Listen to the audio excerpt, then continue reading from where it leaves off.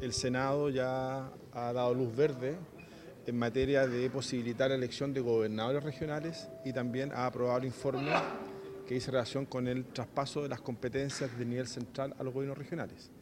Por lo tanto, la próxima semana vamos a tener un super martes en materia de regionalización aquí en la Cámara de Diputados, ya que vamos a tener que pronunciarnos respecto a estos dos proyectos. Y yo en lo personal creo que este es un avance muy importante y muy relevante, más allá de los tiempos legislativos. Ustedes bien saben lo que ha sucedido, las resistencias que han habido aquí en el Congreso para avanzar en esta agenda, pero la buena noticia es que estamos avanzando y al menos yo en lo personal voy a apoyar estos proyectos de ley y espero yo que el Congreso también lo haga, puesto que requerimos distribuir de mejor manera el poder político hacia las regiones. Y es una situación que ha estado pendiente durante mucho tiempo. En lo personal creo que es tremendamente injusto que quienes se presentaron bajo ciertas reglas del juego, a mitad del camino se las estemos cambiando, por lo tanto soy partidario de que los consejeros regionales electos,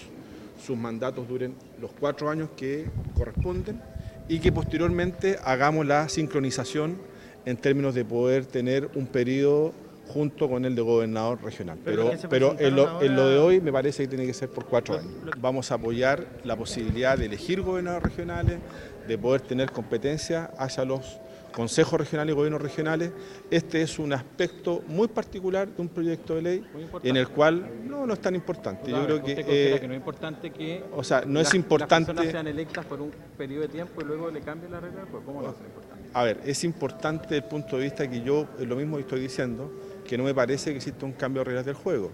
Pero si usted mira el contexto de lo que estamos conversando,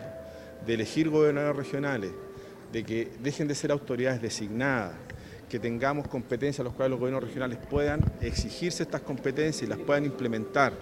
de que poder avanzar en términos de poder los recursos sectoriales puedan tener decisión regional, me parece a mí que es, es un tremendo avance en relación a un punto que puede ser relevante, pero que si usted lo mira en la globalidad de la discusión, por supuesto que es un tema que habrá que analizar, pero no es la centralidad de los mismos proyectos de ley.